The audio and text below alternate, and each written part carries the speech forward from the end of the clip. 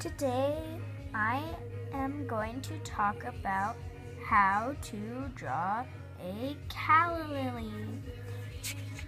Calla lilies are probably one of the prettiest flowers in my opinion. So to start off, you are going to draw a teacup without drawing the top. Now you are going to kind of have to go a little bit up and to give the calla that shape. Then you're going to go down like that.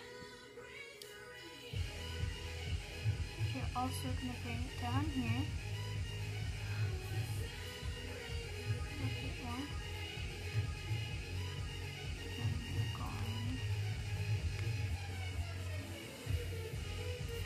Actually quite easy to draw a calla. That's pretty much all to it.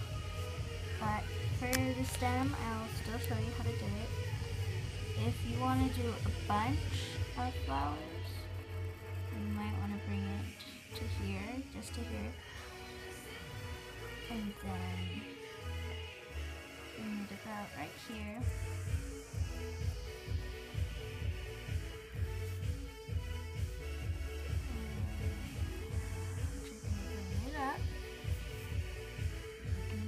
You last time.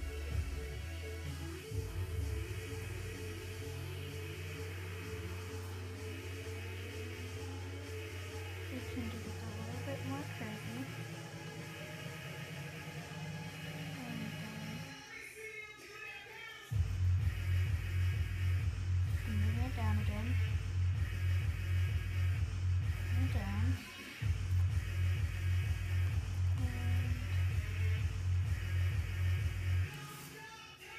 Just gonna keep doing that and I'll show you what a finished piece with colors looks like.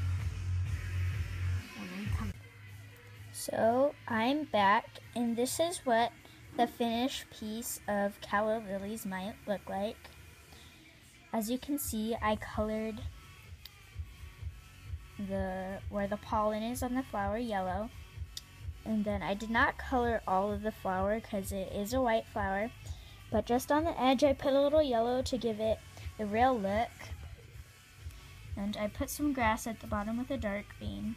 And then I used a light green for the stems.